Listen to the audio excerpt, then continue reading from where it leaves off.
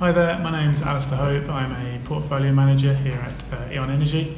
Uh, my job is to trade gas and power on behalf of customers who have a flexible contract with us. Uh, and that obviously means understanding what's going on in the, uh, in the markets.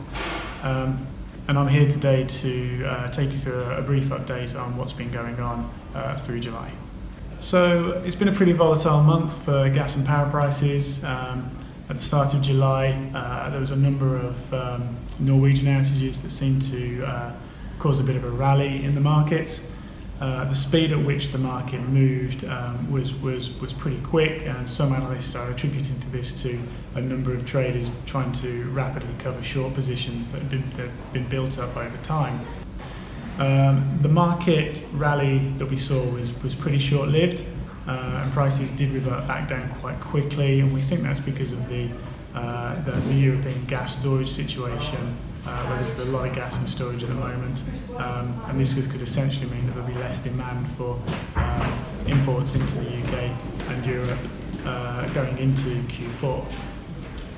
Prices on the front month now seem to be back uh, level or very similar to prices around about the start of June.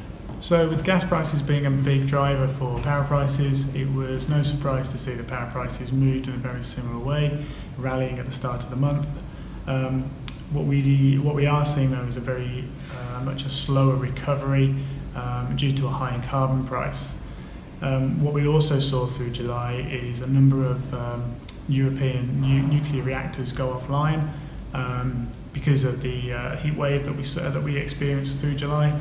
Um, what's happening there is uh, because um, uh, some of the local rivers are used to cool these reactors, uh, environmental regulation states that if these rivers start to get too warm, uh, then the nuclear reactors have to come offline until everything's cooled down.